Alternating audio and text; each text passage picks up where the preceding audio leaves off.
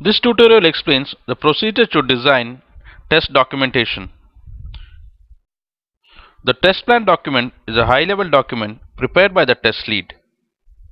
The test lead analyzes the test requirements in discussion with individual test engineers.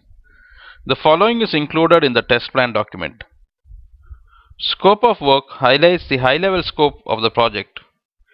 Execution strategy details the steps and process which needs to be followed to execute the project.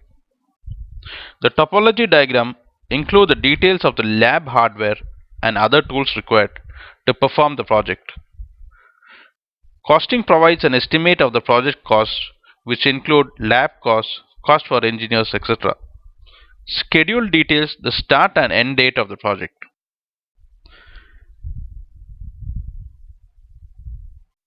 Test case is the detailed document which contains the steps to execute a specific test condition. This is prepared by the test engineer. The following are included in the test case document.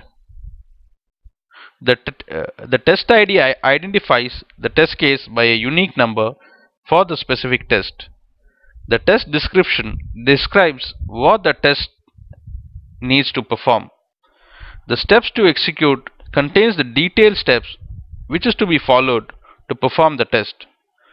The expected result is the result which is to be expected after conducting the test. The actual result is the result which was the result of the outcome of the test. The status contains pass or fail. Remarks are used for noting any specific observations.